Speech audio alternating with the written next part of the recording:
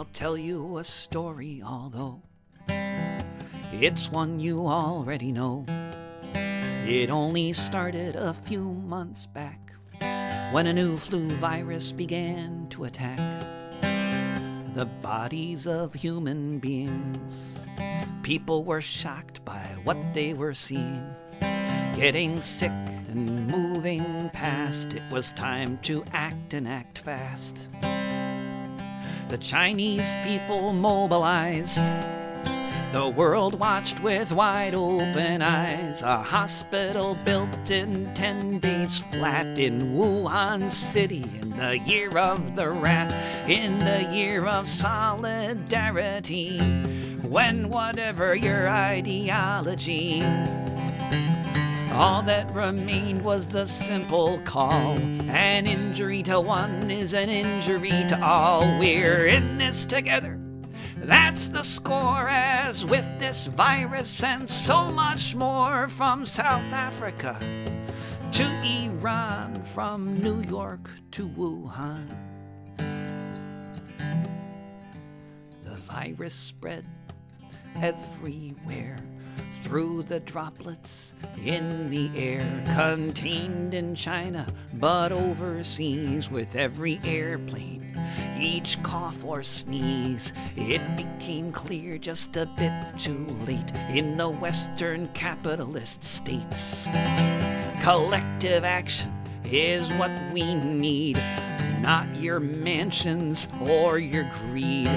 Landlords and tenants, poor and rich, in the same boat, ain't that a bitch? Suddenly, all the world's wealth won't protect the public health unless all the public has a patch of land where they can isolate and wash their hands.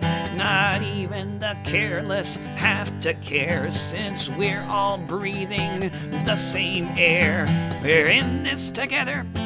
That's the score as with this virus and so much more from Kenya to Iran, from Venice to Wuhan. The future now is yet unwritten. What will become of these politicians who sold their stocks when they knew what the state was going to have to do? Who had to act but did so so late?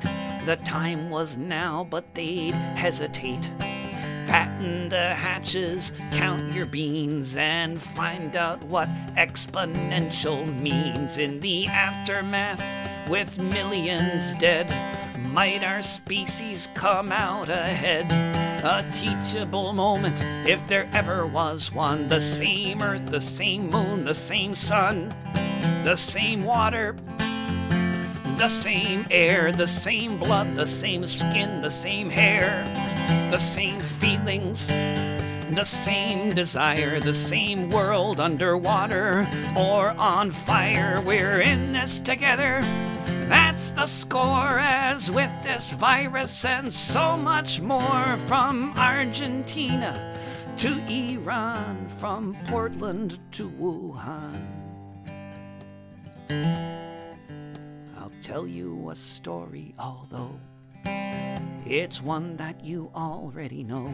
It only started a few months back when a new flu virus began to attack